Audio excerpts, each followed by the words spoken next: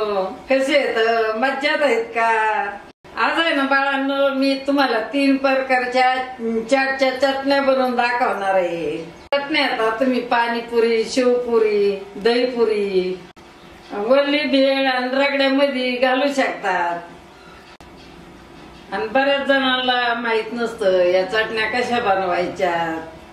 तर मग ह्या चटण्या बनवून तुम्ही दोन ते तीन दिवस खाऊ शकतात चला आता बाळांनो तुम्हाला आहे ना सगळ्यात आधी हिरवी चटणी बनवून दाखवते.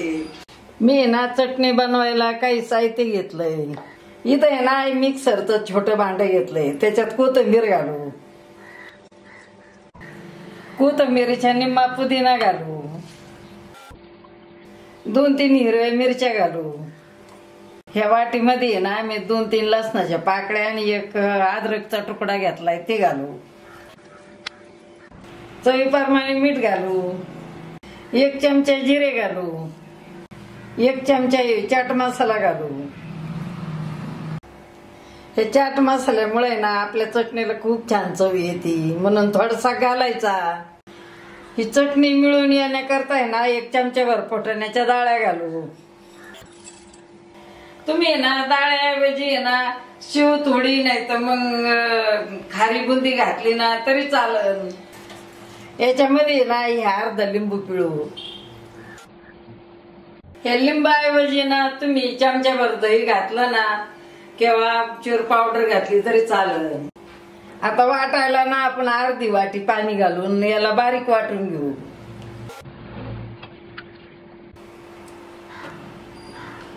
हे बघा बाळांनो अशी चटणी वाटून घ्यायची तुम्हाला ना बाळांनो जितके घट पातळ पाहिजे त्याप्रमाणे पाणी घालायचं. हिरवी चटणी ना बाळांनो तयार झाली आपली. आता आपण लाल चटणी बनवूया. लाल चटणी बनवायला आहे ना मी या ताटलीत वाळलेल्या लाल मिरच्या घेतल्या मिरच्या भिजवायला ना मी भांड्यात पाणी घेतलंय. याच्यात आता मिरच्या भिजवायला घालू.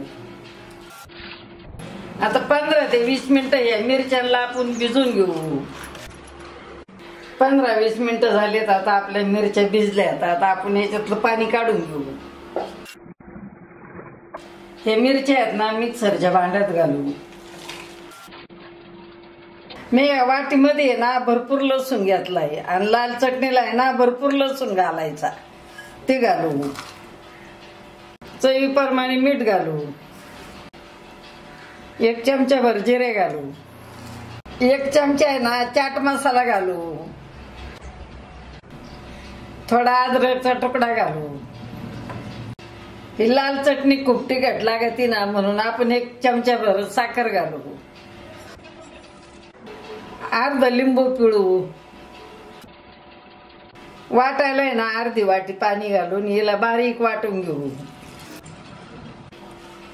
हे बघा बाळांनो झाली आपली लाल चटणी तयार. आणि अशीच वाटून घ्यायची किती सोपी आहे बरं.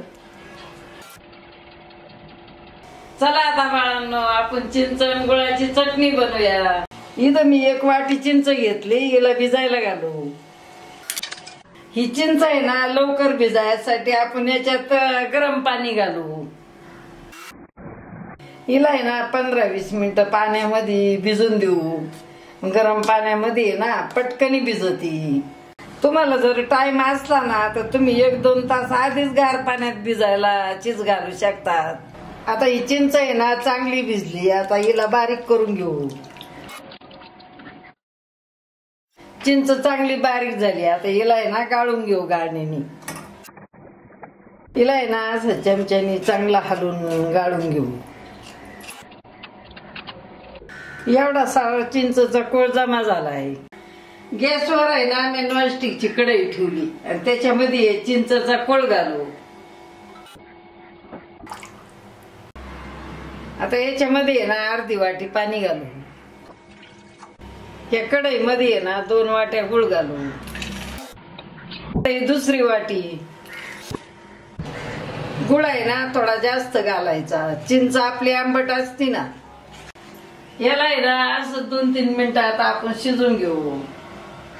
हे बघा बाळांनो याच्यातला ना गुळी घाललाय आता. हे आता तुम्हाला पातळ वाटत असन पण आता ही थोड्या वेळाने घट्ट होईल. याच्यात आहे ना चवीप्रमाणे मीठ घालू. थोडं काळं मीठ घालू. अर्धा चमचा आहे ना जिरा पावडर घालू. अर्धा चमचा धना पावडर घालू. एक चमचा आहे ना चाट मसाला घालू. दोन तीन चिमूट आहे ना काळे मिरळीचं पूट घालू. ही चटणी आहे ना मस्त चटपटीत व्हायसाठी ना एक चमचा लाल मिरची घालू. याला दोन तीन मिनिटं चांगलं शिजून घेऊ आता. बाळांनो हे ना जस जसं शिजन ना तसं घट्ट होईल. बघा बाळांनो चिंच गुळाची चटणी तयार झाली. गॅस आहे ना बंद करू. ह्या चटणीवर आहे ना आपण टरबुजाचे बॅग घालू. बाळांनो चिंच गुळाची चटणी आपली तयार. आहे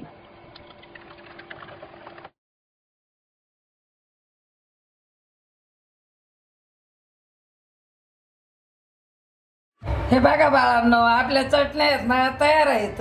तुम्ही एखादा चाट बनवा. त्याच्यावर आहे ना या चटण्या घालून खा.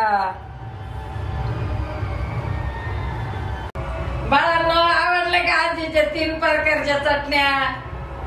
आणि तुम्हाला आवडल्या तर नाही तर लाईक करा शेअर करा. आणि माझे चॅनल ना सबस्क्राईब करा. आणि घंटीचं बटन दाबायला विसरू नका.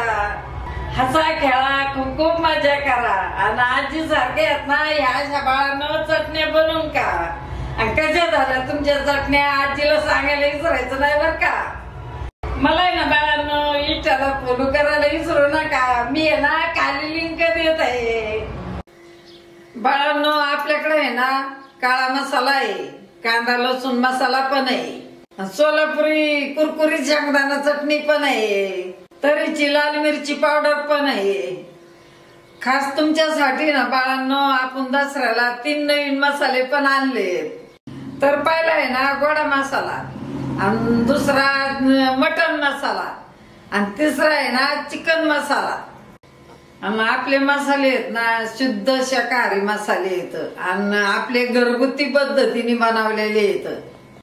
बाळांनो तुम्हाला माझे मसाले घ्यायचे असले ना तर तुम्ही या व्हॉट्सअप नंबरवर फोन करा किंवा मेसेज करा. मग तुम्हाला आहे ना घरपोच मसाले मिळून जाते. आपण आहे ना खेड्यापाड्यात शहरात आणि पूर्ण भारतात मसाले पाठवतो.